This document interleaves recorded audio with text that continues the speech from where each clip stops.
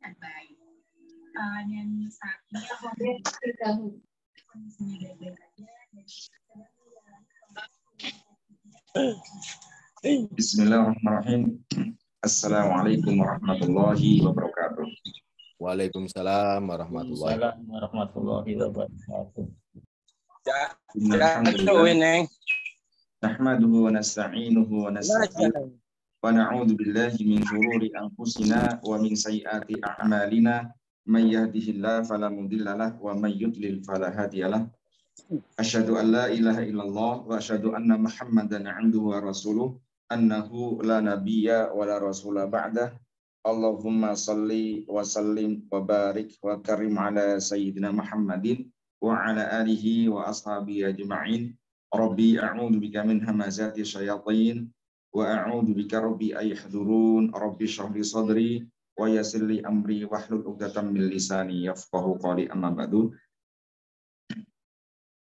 Bapak Ibu semuanya, teman-teman semuanya yang dirahmati Allah. Eh, pada kesempatan kali ini kita bisa melanjutkan kajian kita ya di Al-Quran. Insya Allah pada hari ini kita akan membahas eh, masih di surat At-Takwir ya. Surat At-Takwir ayat yang ke-20 ya. Namun seperti biasa ya kita mulai dengan bacaan surat Al-Fatihah ala hadini wa kulli niyatin salih al-Fatihah.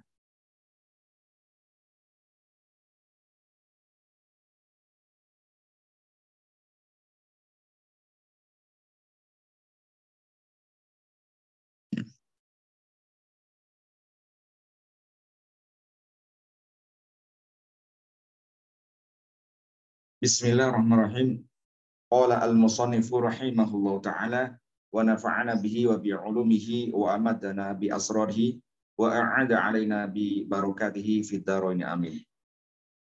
Teman-teman semuanya, kita sudah mengkaji surat At-Takwir ya dari ayat 1 sampai ayat 19 ya.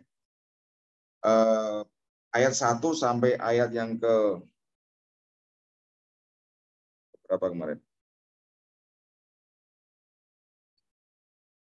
Ke-13 ya.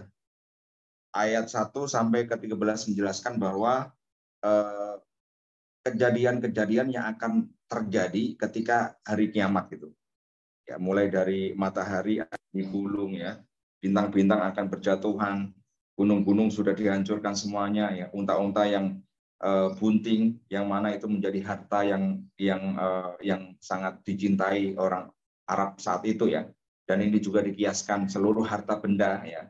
Harta benda kita semuanya yang berharga di mata kita itu juga uh, tidak akan kita urusin gitu kan.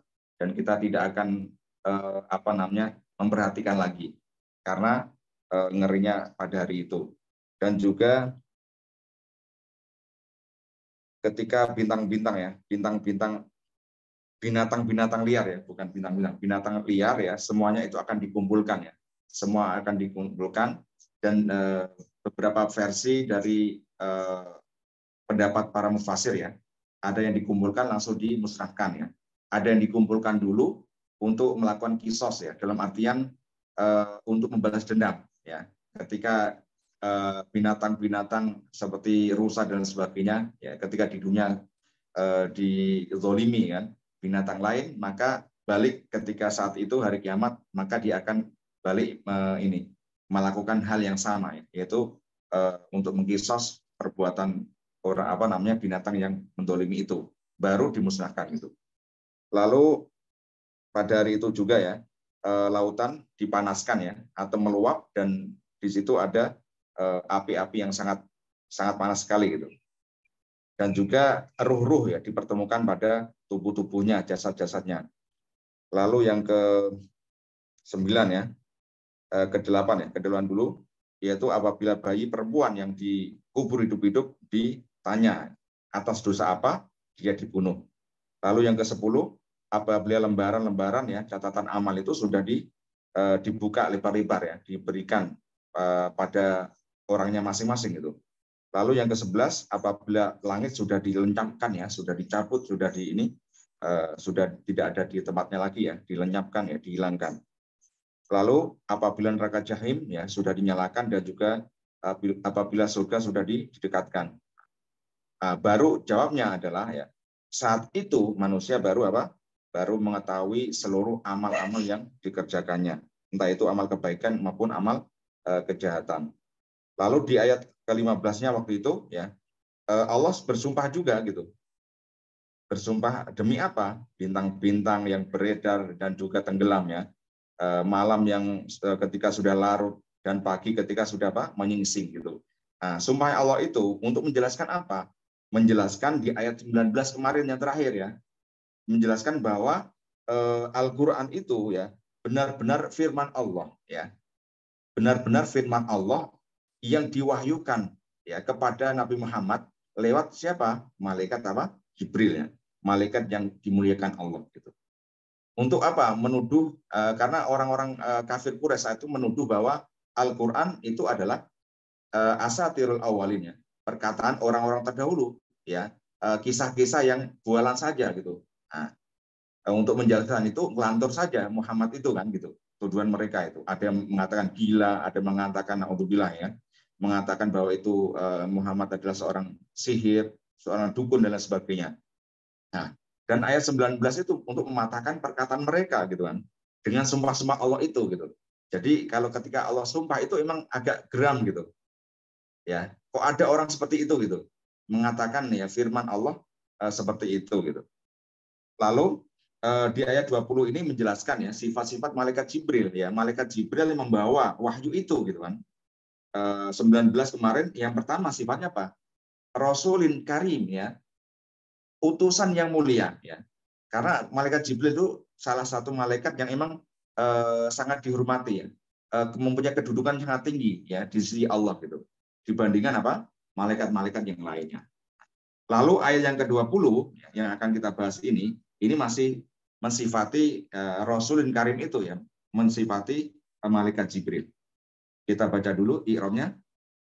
Zi adalah sifatun saniyatun li rasulin. Jadi zi ini kedudukannya sebagai sifat yang kedua bagi lafat rasulin ya. Jadi sifat pertamanya adalah rasulin karimin ya. Jadi rasul utusan karimin yang mulia ini sifat yang pertama. Lalu sifat rasul yang kedua adalah di kuwatin ya. Zinya ya. Uh, jadi majururah i'rabnya ikut jar karena apa? Karena yang disifatin apa? Rasulin. Karena rasulin itu majrur. Alasannya waktu itu apa? Qauli rasulin berarti sebagai mudhof ilaih gitu. Wa alamatu jariha tanda dia majrur adalah apa? Al ya'u, memakai huruf ya.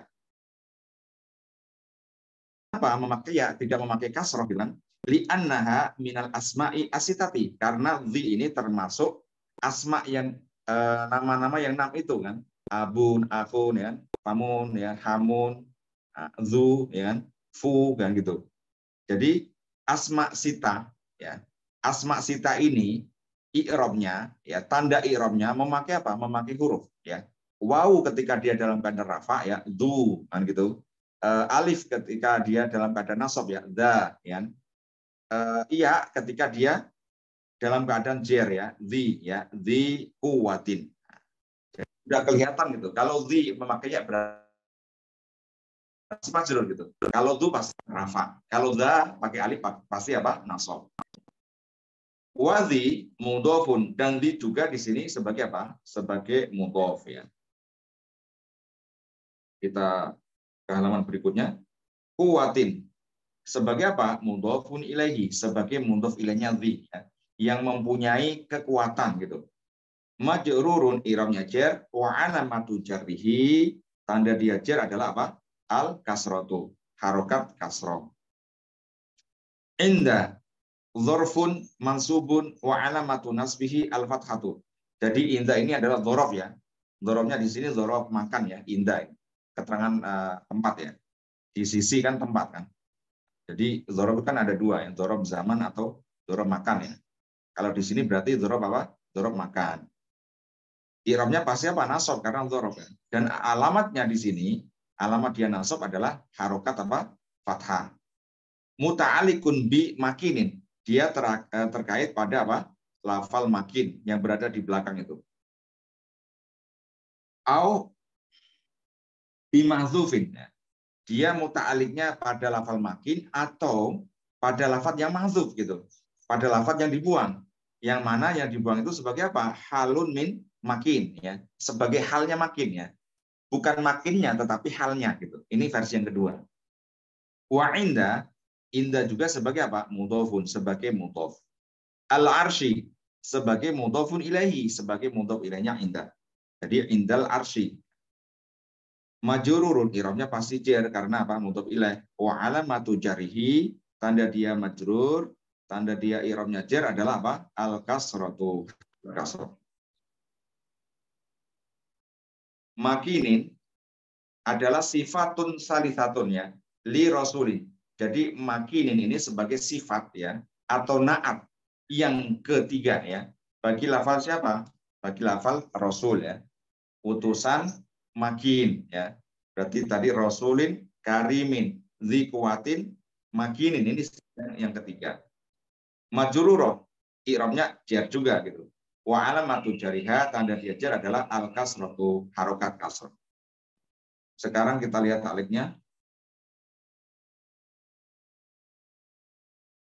Zikuatin, maksud dari zikuatin adalah apa? Sahibu kudrotin alama yukallafu bihi.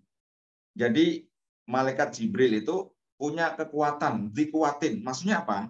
dia mempunyai kemampuan ya, sahibu kudrotin ala mayukalafu bihi. Ya dia mampu melaksanakan tugasnya gitu. Tugasnya apa? Menyampaikan wahyu ya kepada para rasulnya kan, rasul Allah, para para nabi Allah gitu kan. Nah, jadi uh, tugas ini tidak tidak uh, tidak tidak gampang ya. Tidak semua malaikat mempunyai tugas seperti ini gitu. Hanya malaikat pilihan saja, yaitu malaikat Jibril ya, dipilih Allah untuk menyampaikan amanah yang sangat luar biasa dari Allah gitu. Nah, maksudnya dari zikuatin adalah sahibu kutrotin alama yukallafu bihi ya. Mampu ya, dia mempunyai kemampuan untuk melaksanakan apa yang diperintahkan padanya gitu. Wa la ya'jizu anhu wa la yat'afu. Nah, dia tidak lemah dan tidak apa namanya tidak uh, tidak tidak mampu gitu berarti dia mampu kan lawannya. Lawannya mampu itu layak jizu kan. Dia mempunyai kekuatan berarti layak jizu. Ini ini lawannya ya berarti. Nah, berarti eh, berarti layak jizu walayak tafu. Dia juga nggak lemah ya kan. Tidak eh, apa namanya eh, tidak lemah dan tidak eh, apes ya. Kalau bahasa Jawanya apes itu ya tidak mampu ya. Nah, sama, sama aja ya. Layak jizu itu tidak mampu maksudnya. Fahuwa syadidul kuwa ya. Dan Jibril itu syadidul kuwa ya.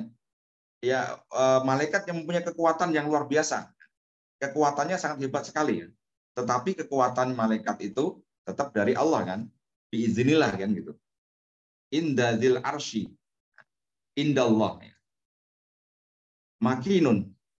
Jadi eh, di sisi Allah, malaikat Jibril mempunyai kedudukan ya, manzilah kabiroh, mempunyai kedudukan yang besar kan. Jadi ketuanya para malaikat kan. Ya, jadi mempunyai tugas yang sangat luar biasa ya. Eh, malaikat yang paling mulia adalah malaikat apa? Malaikat Jibril ya. Karena dia makin ya alahu manzilatun kabirun mempunyai kedudukan di sisi Allah yang sangat besar gitu. Wa makanatun azimatun indal ali al-qadir. Sama juga ya, manzilah kabiroh atau makan azimah itu sama ya. Mempunyai kedudukan yang sangat tinggi, mempunyai kedudukan yang sangat besar di sisi Allah. Lalu ayat yang berikutnya 21 ya. Muto'in sama aminin. Muto'in adalah sifatun robiatun ya. Sifat yang keempat. Li rasulin bagi lafat rasul. Majruratun iramnya jar. Wa alamatu jariha. Tanda dia jar adalah al kasratu. Harokat kasrah. Tamma adalah zorfu makanin. Sama itu zorob makan ya, keterangan tempat. Mabniun ala fathih, dia mabni fathah, sama. Ya. Jadi bukan summa ya, jadi beda. Summa sama sama itu beda. Jadi bahasa Arab itu beda harokat pun itu bisa beda artinya ya. Beda uh, kedudukannya gitu. Nah, summa sama-sama beda ya. Kalau summa itu sebagai apa? Sebagai atof kan, kemudian artinya.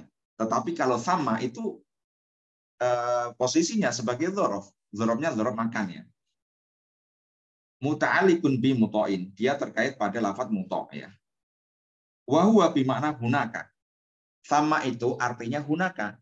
Ya, hunaka atau hunalika ya. Di sana ya. Di sana itu di mana ya? Wa yushiru hadza adzarfu ila inda zil arsy. Di sana maksudnya di eh, di aras Allah kan. Di sisi Allah. Ya, dia itu mempunyai apa? Eh, di alam malaikat gitu kan. Jadi malaikat Jibril itu di alam malaikat itu malaikat yang di, uh, ditaati sama ini, ya. Karena ketuanya kan, pemimpinnya kalau kalau memerintahkan anak buahnya kan pasti ditaati kan. Nah, sama dengan dengan kita kan, sebagai bos gitu kan, atau sebagai direktur atau sebagai pimpinan lah di perusahaan atau di mana pun ya. Ketika dia memerintahkan kepada seluruh anak buahnya, pasti anak buahnya apa? Taat kan, ya, patuh kan gitu. Nah, sama, malaikat Jibril seperti itu karena malaikat Jibril adalah pemimpin mereka gitu. Para malaikat ya, di alam malaikat sana itu malaikat Jibril mutoin ya, ditaati gitu. Lalu ala annahu mutoun indah apa ini? Indallah ya. Ala annahu mutoun indallahi ta'ala. Mutoun fi malaikati al-muqarrabin. Jadi tadi sudah saya jelaskan ya, di sana ya, di alam malaikat itu, malaikat Jibril adalah malaikat yang sangat-sangat ditaati, ya. sangat-sangat disegani. Lalu aminin. Aminin adalah sifatun khomisatun, sifat yang keberapa? Kelima. ya. Jadi ada lima mensifati, eh, menjelaskan ya, malaikat Jibril itu seperti apa gitu.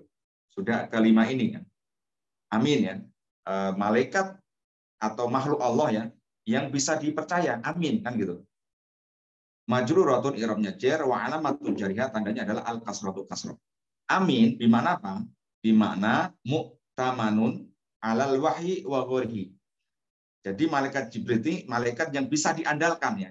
Malaikat yang bisa dipercaya uh, untuk apa? Untuk mengemban ya amanat dari Allah menyampaikan wahyu dan dan lain eh, lain sebagainya ya. ya. Nah, berarti tidak hanya wahyu saja kan. Berarti ada eh, kabar-kabar yang yang eh, dari langit ya. Apa pun ya perintah yang ini itu malaikat Jibril ini sangat amanah sekali gitu. Muktaman. Enggak seperti kita kalau dikasih ini ya. Ngeles kan gitu. Enggak ada seperti itu karena malaikat ya tidak punya nafsu kan. Dan bisa diandalkan. Muktaman ala wahyu wa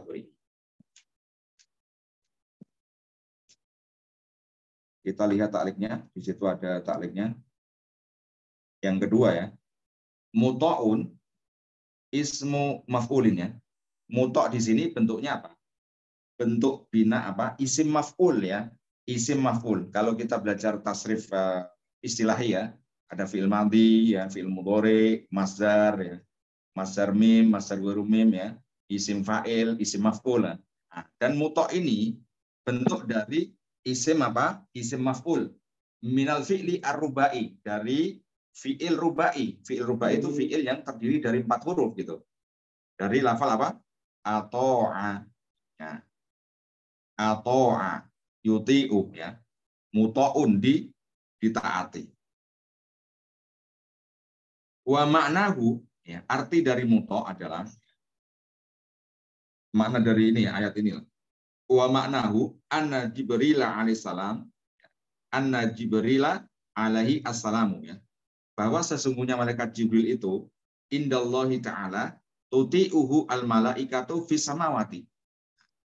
Jadi di sisi Allah itu malaikat Jibril itu di, di ini ditaati seluruh malaikat yang ada di langit itu.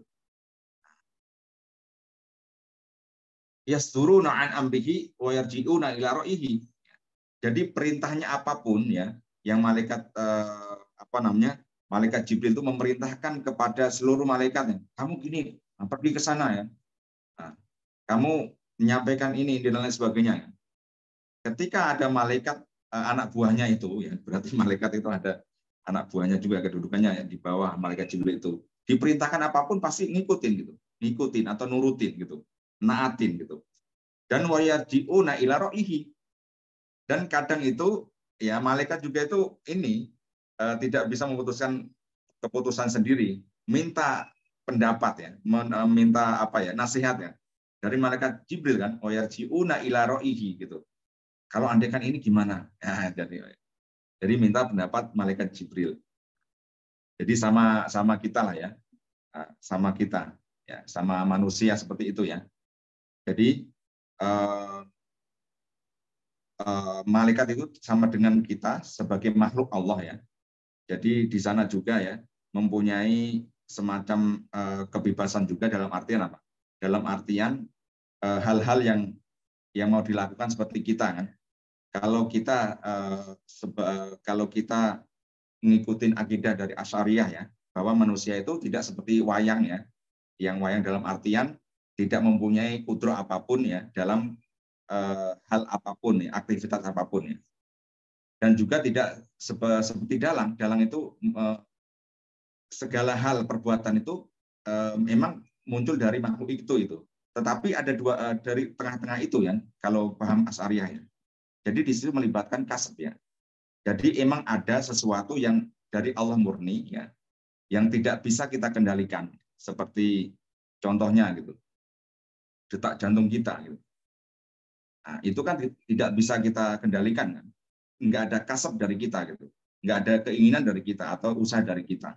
Contohnya inilah tangannya. Tangan gerak ya.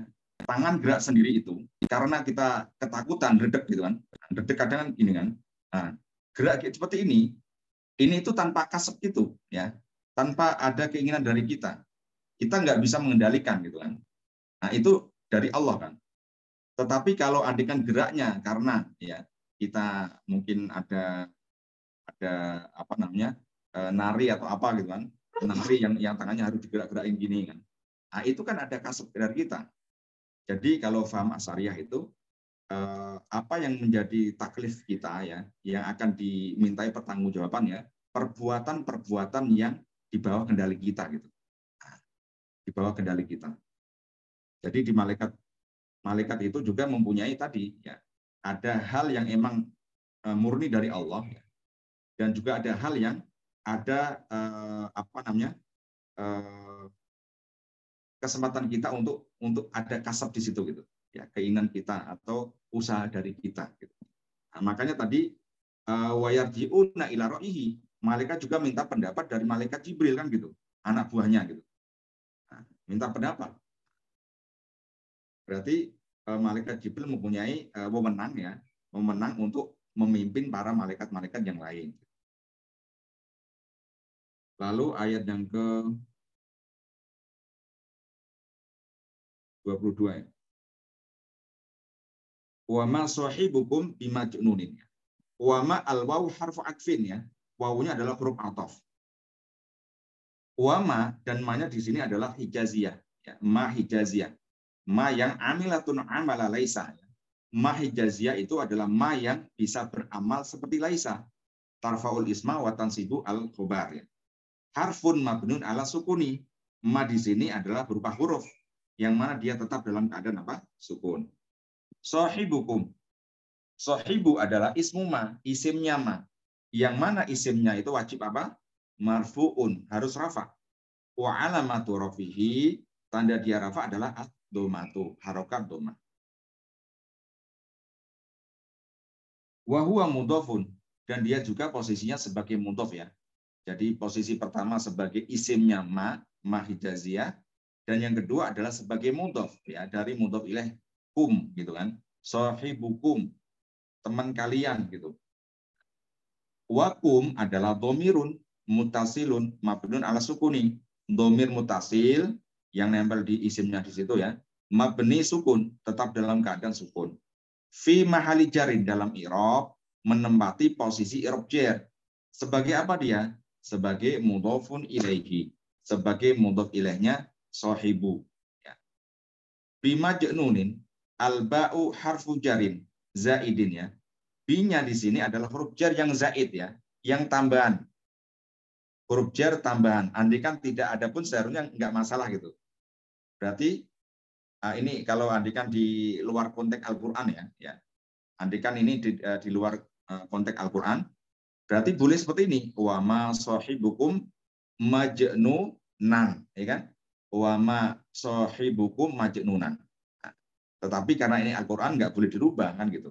Nah, tetapi kalau kita membuat kalimat sendiri kan, kalau membuat uh, seperti ini, baknya andaikan tidak dipakai pun itu nggak masalah ya. Karena baknya bak apa? Zaidah. Tidak mengurangi arti ya, tidak mengurangi maknanya. Lalu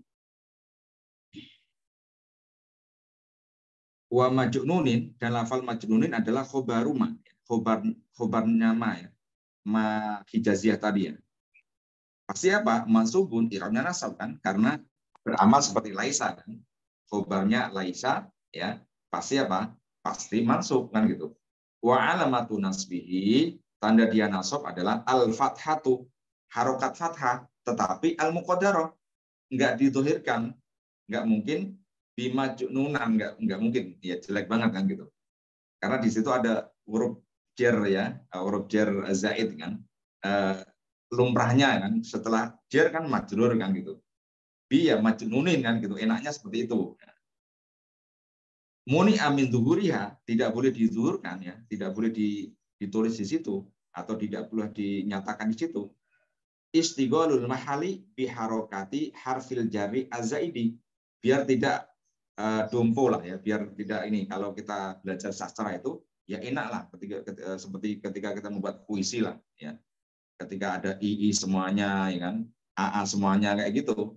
Jadi nilai sastranya itu eh, tinggi gitu sesuai munasib kan gitu nah, karena di sini ada uh, istigolul mahal ya sudah ditempati huruf jer ya meskipun dia zaid ya uh, tandanya ya sudah pas ya bimajnunin gitu.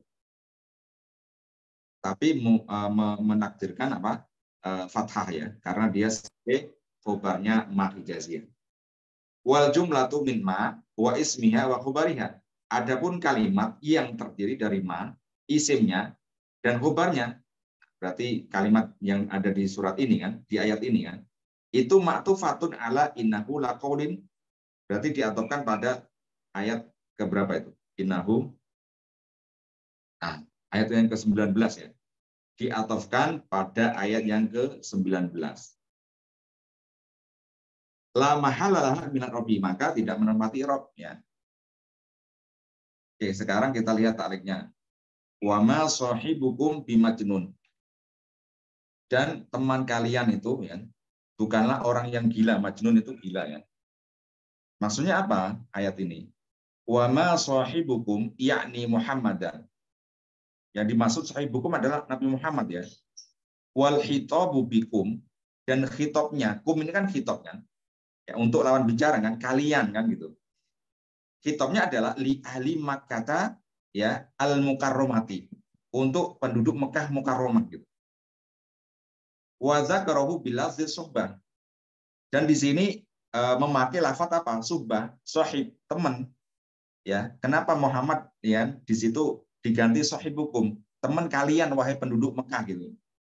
Li isyari bi annahum alimu nabi amri. Karena mereka itu orang-orang penduduk Mekah itu sangat kenal sekali sama Nabi Muhammad. Mulai dari kecil tuh tahu Muhammad kecil itu seperti apa ya. Orang yang sangat terpercaya, nggak pernah bohong, nggak pernah berkhianat ya, lurus-lurus saja kan gitu. Makanya di situ ini sahibukum jadi ketika kita mempunyai teman, sahabat itu kan kita sudah tahu kan ya sahabat kita ya hobi makannya apa ya kan kebiasaannya apa ya yang tidak disukai apa itu kan kita tahu. Karena sahih ya. Karena sahabat dekat gitu. Nah, maka memakai ini ya. Bahwa teman kalian yaitu Muhammad itu ya. Ma bima apa wa ma sahibu bima jenun tidaklah orang yang gila gitu.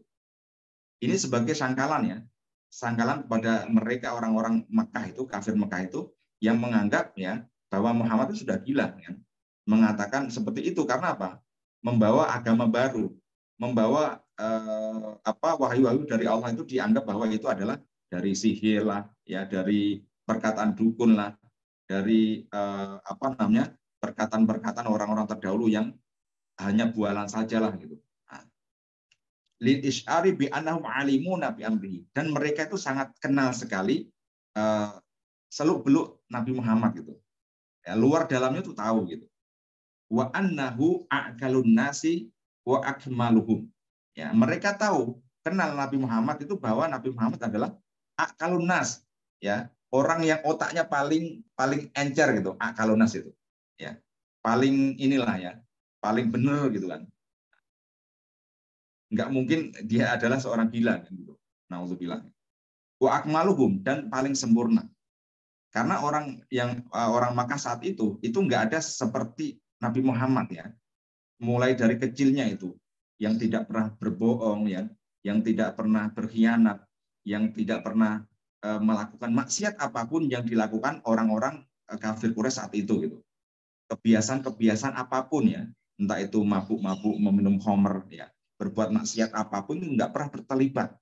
Makanya mereka pasti tahu gitu kan bahwa Muhammad itu adalah akalunas dan akmaluhum. Orang yang uh, paling sempurna, the best orang ya.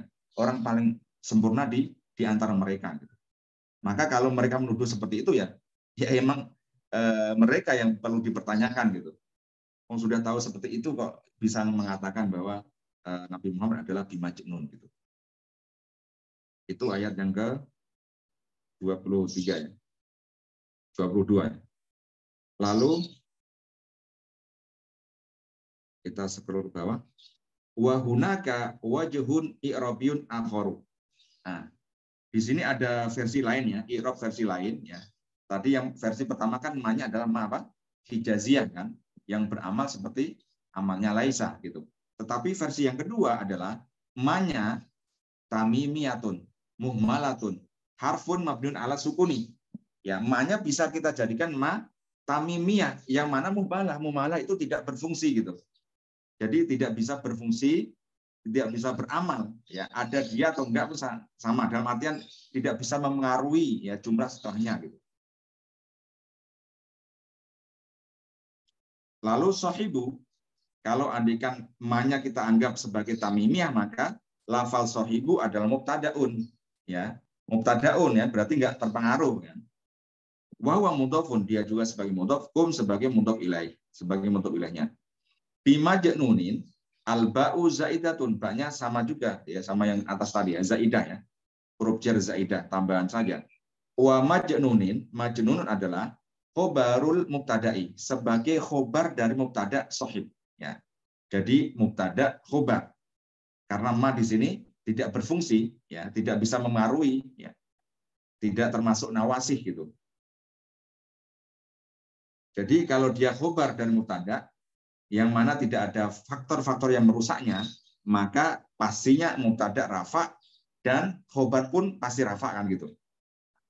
Wa alamatu rafihi tanda dia rafa adalah apa? Ad-dhammatu Tetapi apa? Al-muqaddarah dimuqaddarkan juga. Ya. Kenapa muni amin zuhuriha? Sama juga ya, tidak boleh dizuhurkan karena istighalul mahali biharokati harfil jari azzaidi sama alasannya ya. Karena sudah dipakai ya Eh, yang sesuai ketika dimasukin huruf jar ya harus majrur kan gitu. Tetapi dalam posisi irobnya itu sebagai khobar yang marfu. Wal jumlatu minal mubtada wal khobari. Adapun jumlah kalimat ismiyah ini ya, jumlah ismiyah berarti sahibukum bimajnunin ya, mubtada khobar itu jumlah namanya jumlah ismiyah ya. Ma'tufatun dia jumlah yang diatofkan ya. Pada apa? Ala innahu laqauli Rasulin Karim. Ya, berarti diatofkan pada uh, jumlah yang ada di ayat ke-19.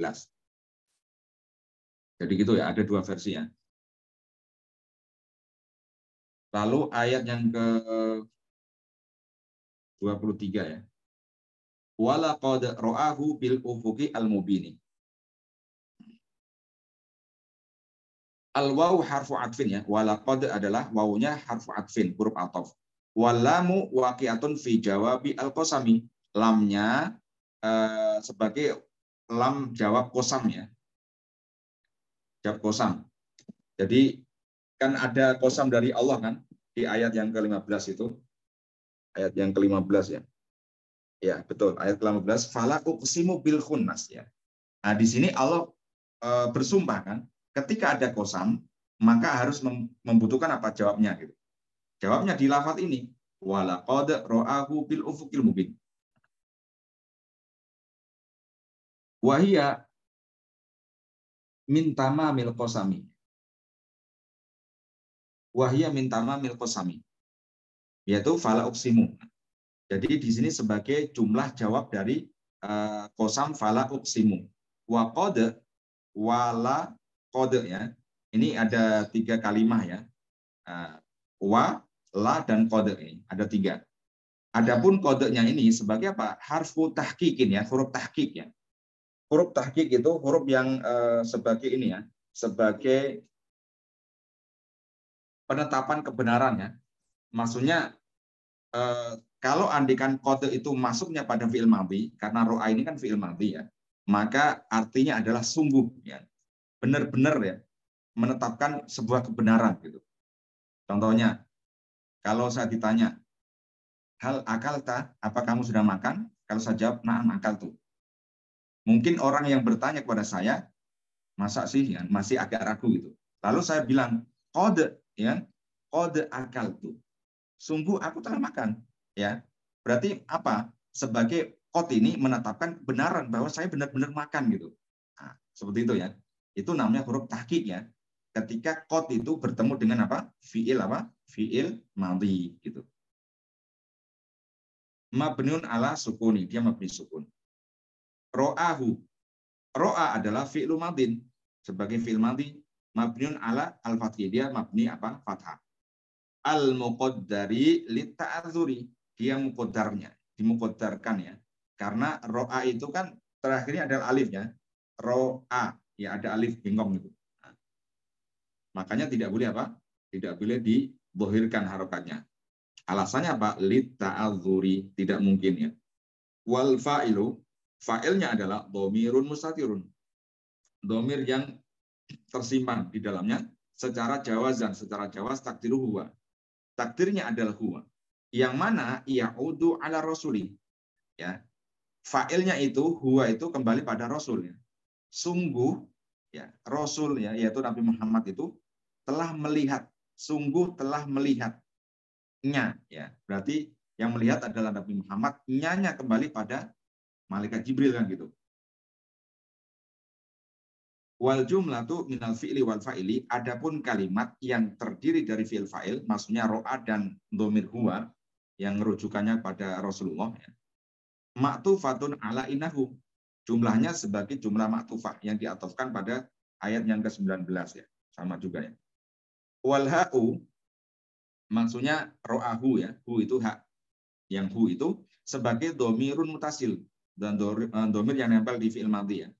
Mabniun ala domi, dia tetap dalam keadaan domah fi mahali nasbin. Dalam i'rab menempati i'rab apa? Nasab ya. Sebagai apa dia? Maf'ulun bihi, sebagai maf'ul bih dari ro'a. Ya, sebagai objeknya ro'a. Melihatnya gitu. Berarti sebagai objek. Nyanya itu siapa gitu? wa huwa ya'udu ala Jibril ala Jibril alaihi salam ya.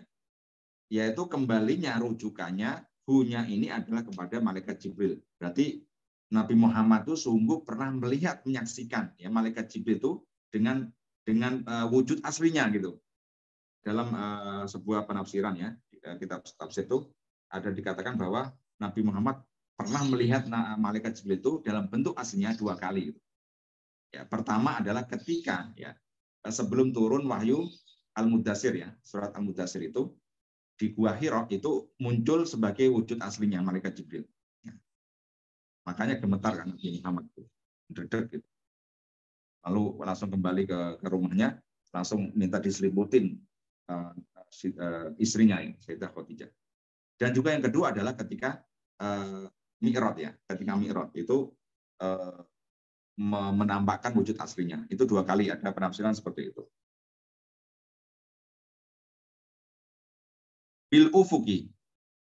Al ba'u harfu jarin. Ba'nya adalah huruf jar mabnun alal kasri dia mabni kasron.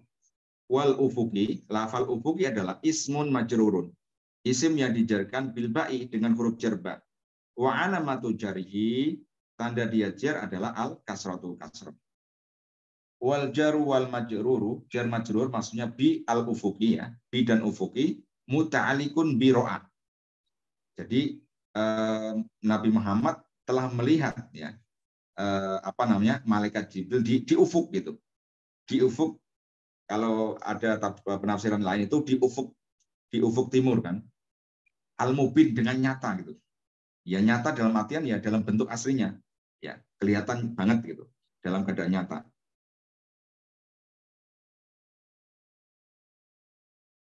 Au bimahzufin atau dia muta'aliknya pada lafal yang mahzuf. Mahzuf itu sebagai apa di situ? Sebagai halun min al-ha'i fi ro'ahu. Ya. Berarti sebagai hal ya. Hal dari uh, dari domirhu. Dalam keadaan ya, uh, malaikat Jibrilnya itu di ufuk ya, di ufuk. Al-mubini, mubin di sini adalah sifatun li ufuki, ya, sifat dari lafat ufuki majrurun irobnya jer wa alamatu jarihi tanda dia jar adalah al kasratu kasroh wal ufuk al mubin maksudnya ufuk mubin ini apa ufuk yang nyata yang jelas gitu. adalah matla'u syamsi al-a'la ya tempat munculnya matahari al-a'la yang tinggi ya dari ufuk timur itu ya di eh, matla itu tempat tempat terbitnya matahari kan matla itu tempat munculnya gitu. Tempat munculnya matahari kan di timur kan. Kalau di barat berarti sudah kiamat kan gitu. Berarti matla syam. Ya, jadi Nabi Muhammad saat itu melihatnya di matla asyams, tempat munculnya matahari al-a'la di, eh, di uh, yang di di atasnya gitu. Jadi di ufuk timur ya. Jadi kalau kita, kita lihat itu kan ufuk itu kan ini sinar sinar yang semburat itu kan di timur itu itu kan akhlak kan, tinggi di ketinggian seperti itu. Jadi kalau andikan tidak ada bangunan ya, andikan kita di padang pasir itu kan, kita tidak ada hal-hal yang menutupi entah itu pohon-pohonan atau apa, itu itu ufuknya kelihatan gitu. Semburat mataharinya itu ya di atas gitu.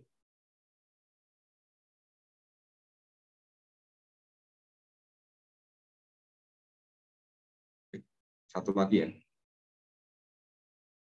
Wama huwa alal ghaibi bidoninin. Wama al waw harfu atfin. Wawnya adalah huruf atof. Ma di sini adalah ijaziyatun amilatun amla laisa. Ya, ma-nya juga sama ya. Ma-nya sebagai ma hijaziyah yang beramal seperti amalnya laisa, seperti yang di ayat sebelumnya tadi ya. Huwa domirun munfasilun. Huwa adalah domir munfasil, domir yang yang bisa berdiri sendiri ya, tidak nempel. Dia mabni alal fathi, dia mabni fathah. Fi mahali raf'in dalam irob menempati irob rafa sebagai apa? Ismu ma, isimnya ma. Ya. Berarti dia mabni, tetapi dalam irob dia menempati irob rafa karena isimnya ma. Ala harfu jarin mabnun ala sukun. Ma adalah huruf jar, dia tetap dalam keadaan sukun.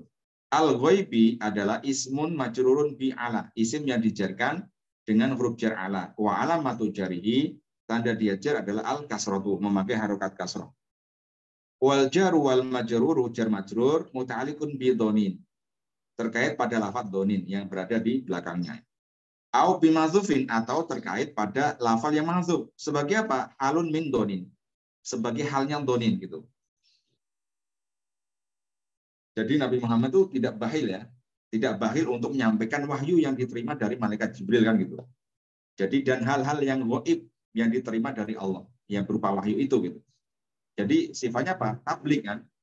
Pasti menyampaikan wahyu apa pun itu. Tidak ada satu pun yang diumpetin. Tidak bahkan satu huruf pun itu tidak tidak apa? Tidak mungkin tidak disampaikan ke ke umatnya kan gitu. Nah, itu maksud dari wa ma huwa alal ghaibi Lalu bidonin adalah al-ba'u zaidatun, banyak zaidah, ya bak tambahan.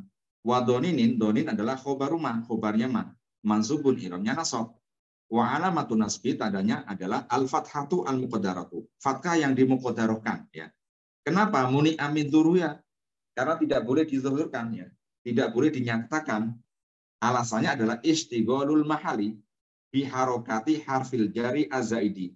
Karena sudah dipakai ya eh, apa namanya harokat ya harokat isim yang majrur di huruf jar bi itu tadi ya yang yaitu huruf jar tambahan itu gitu wal jumlah tu ma'tufatun ala jumlati ro'ahu adapun jumlahnya diatofkan pada jumlah ro'ahu berarti di ayat yang sebelumnya ya.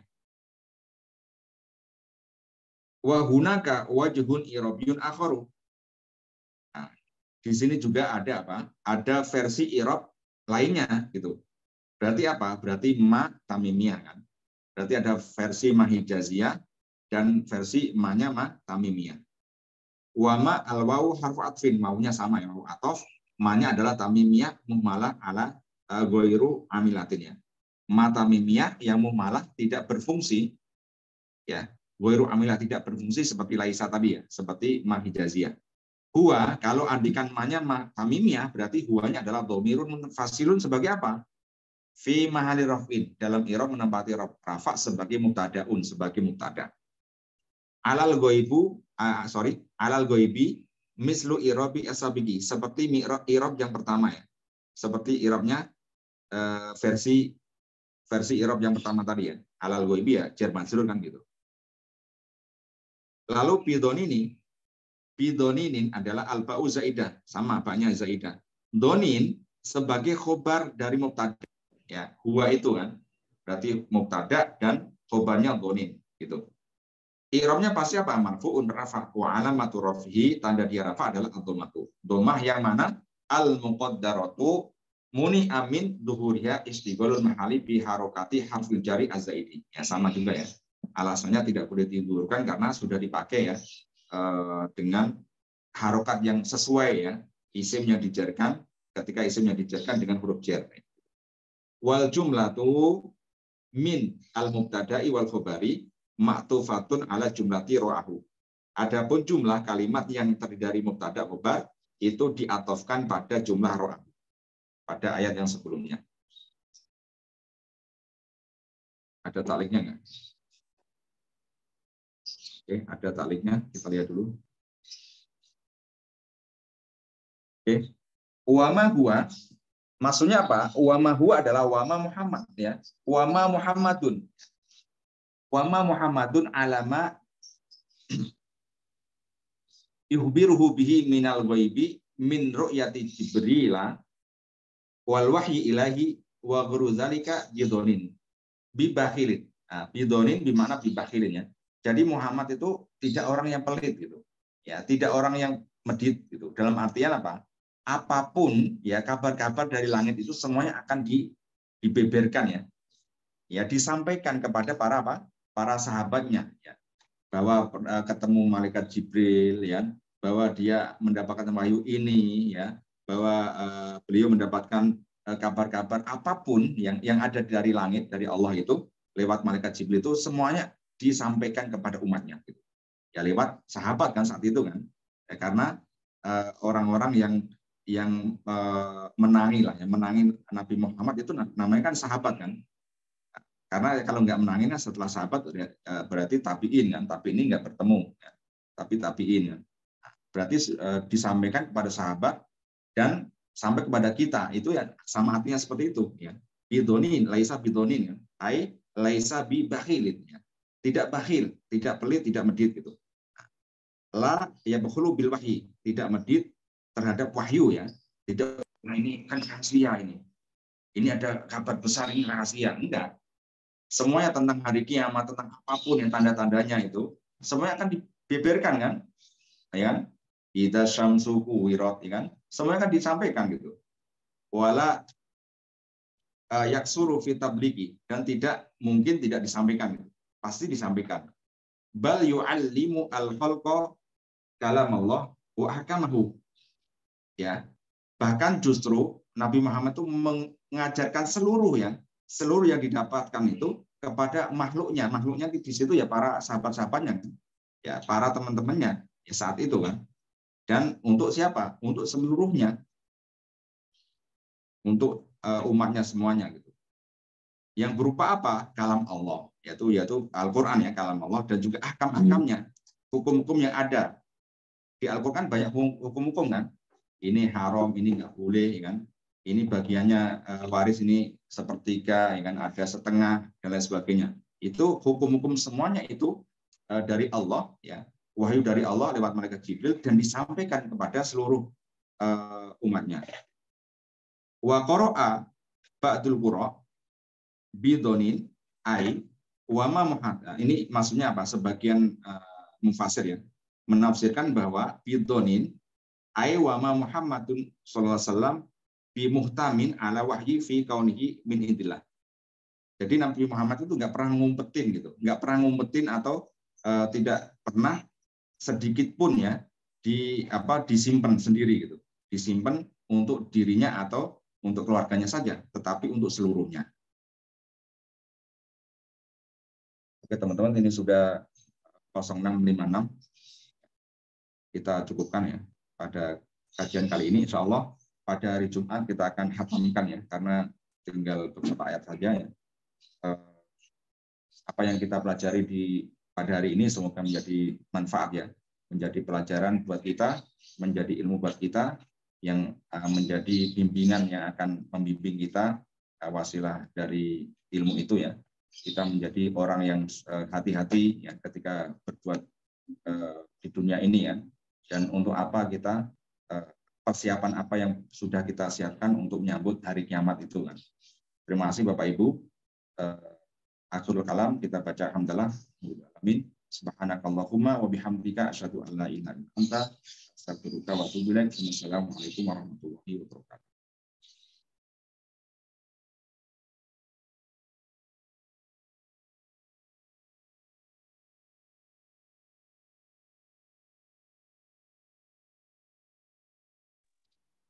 Oke, Bapak Ibu,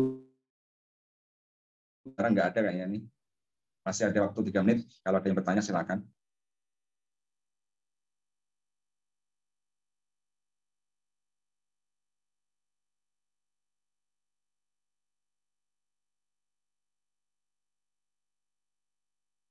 Tidak ada yang bertanya?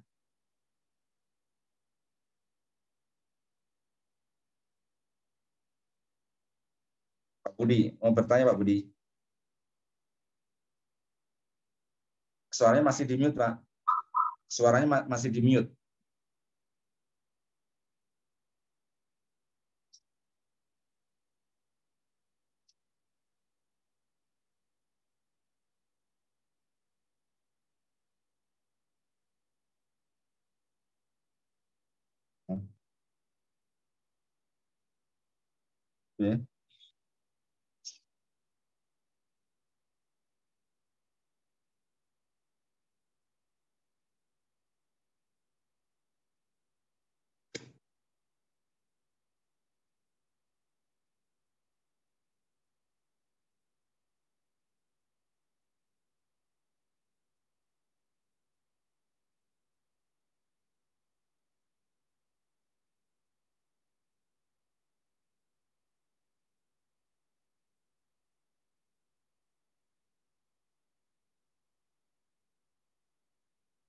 Oke, ini uh, mohon maaf ini kayaknya dikunci ya, Bapak. Ini adminnya nggak ada, udah keluar nih. Tapi kayaknya dikunci ini. Oke, mohon maaf ini mungkin insya Allah uh, pertanyaan Pak Budi buat besok aja Pak Budi ya. Karena ini adminnya sudah nggak ada, sudah keluar dari dari ini dari Zoom dan kayaknya dikunci ini. Oke, mohon maaf. Terima kasih atas ini kesempatan teman-teman untuk ikut kajian ini langsung uh, saya tutup aja ya Pak ya. Assalamualaikum warahmatullahi wabarakatuh.